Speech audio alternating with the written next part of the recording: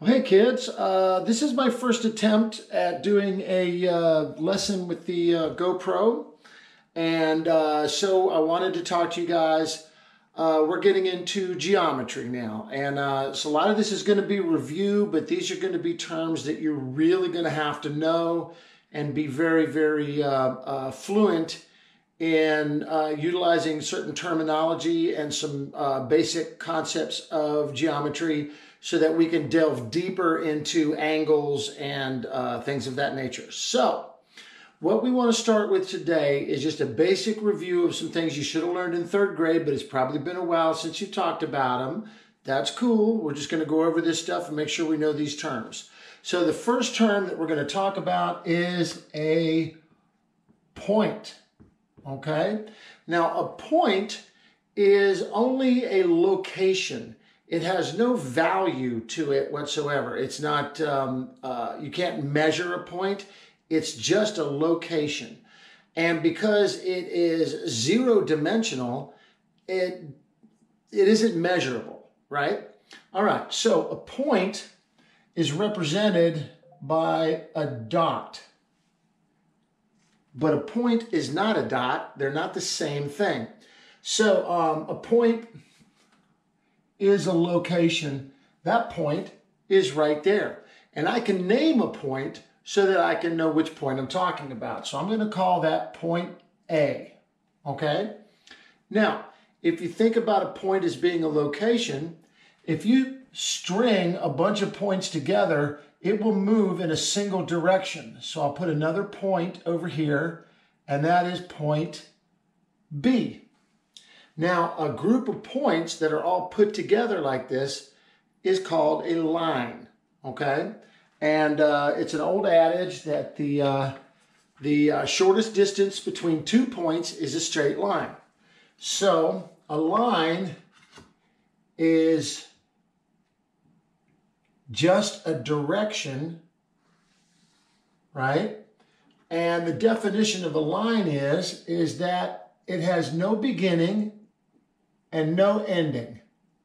Okay, so a line has no beginning and no ending, and these arrows at either point indicate that it's a line. So you could call this you could call this line AB, and that's exactly what we call it. And we write it like this. You write an A and a B, and then you write a line above it, and the line has arrows on both sides to indicate that it's a line.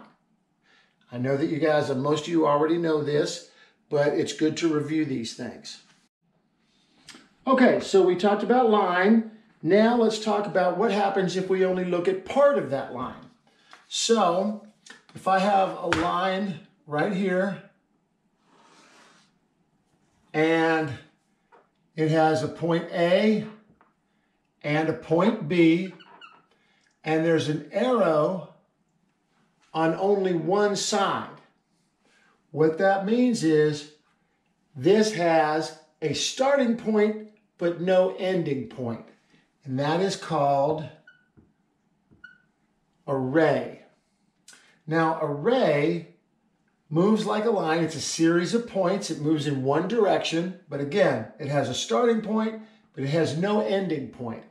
And a ray, this ray can be called ray AB. And the symbol for ray AB is above the AB, you draw a ray. Has no beginning point, but it does uh, has has a beginning point but no ending point. Sorry about that. So that is ray AB. Now, the next thing to talk about is part of a line which is called a line segment. And the word segment means part. So it's part of the line.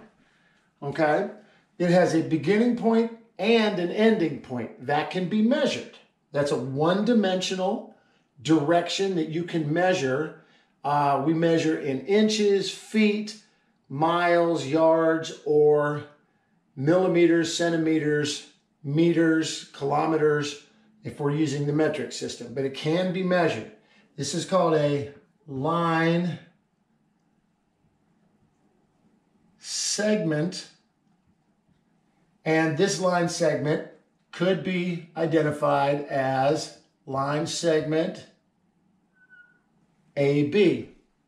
Line segment AB.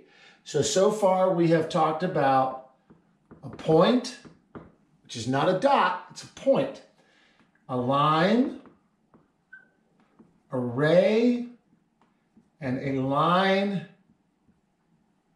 segment. It is very important that you can identify the differences between these things, that, you have this terminology. We're going to get into angles next, but this is point, line, ray, and line segment. And it doesn't have to be AB. It won't always be AB. Uh, it could easily be line C, D. And it doesn't always have to be in that order. It could be line C, R, right? We're just labeling points.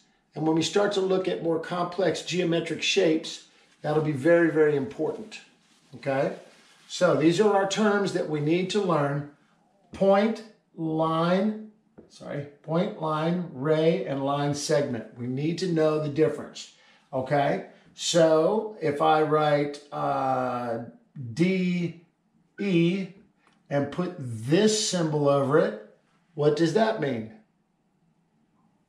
Correct, line segment. I'm assuming you got it correct. This is a one-way teaching lesson, so how would I know if you got it correct? All right, if I, uh, if you saw FG with this over it, what would that be? Correct, that would be a line. Remember, a line has no beginning and no ending, so we use arrows on both sides.